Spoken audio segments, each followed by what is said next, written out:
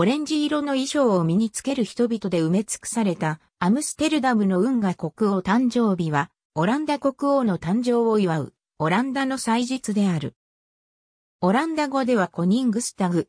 直訳で王の日、または国王の日とも言う。オランダの国家の日とされている。2013年4月30日のベアトリクス元女王の退位までは、女王誕生日、または女王の日として知られた。現在は息子のウィレム・アレクサンダー国王の誕生日のお祝いである。日付は4月27日。ただし27日が日曜日なら4月26日にずらされる。この日は原国王ウィレム・アレクサンダーの誕生日である。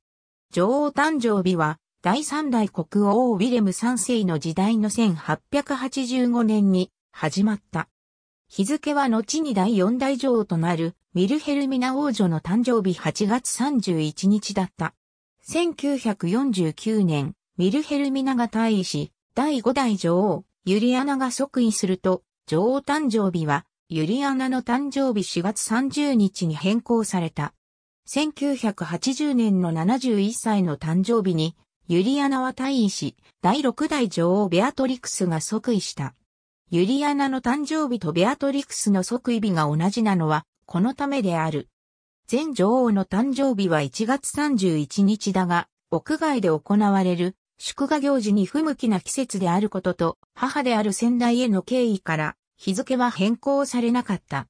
2013年の女王誕生日にベアトリクスは退位し、第7代国王ウィレム・アレクサンダーが即位した。即位に伴い、女王の日は王の日に変更された。この日には、オランダ全土がオレンジ色の飾りが掲げられ、様々なパレードや音楽祭が催されるほか、ベライマークトが開かれ、街の通りで住人が自由に物を売買することが許されている。